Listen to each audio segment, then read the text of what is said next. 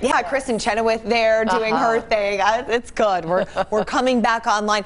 Now we have to talk about what's going on here locally because the strip is on fire too. Debbie Gibson and Joey McIntyre teamed up for a mini residency at the Venetian. Well, Las Vegas now had the chance to talk to the singers about how all this came about.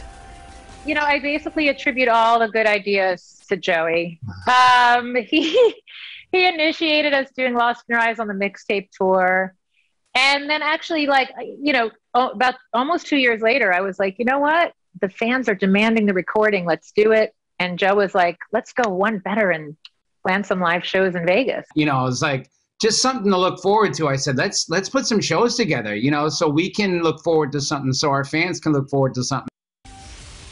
Yes, we are looking forward to it. Well, they have four shows left at the Venetian, and there are a few tickets left. This was so popular, they had to add more shows. Oh, great. They did. So you can catch the full interview with them uh, during Las Vegas Now at 3 o'clock this afternoon, and that's right here, of course, on Channel.